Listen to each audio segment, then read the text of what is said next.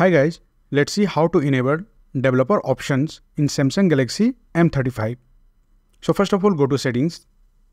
Now here I scroll down and tap on about phone.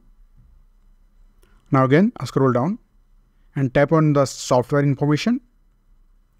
Now here you will be able to see the build number. You have to simply tap 7 times on it.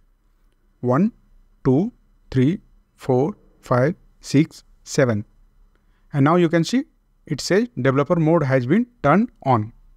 Now here you have to go back two times, one, two, and now just below the about phone section, you can see there is an option called developer options.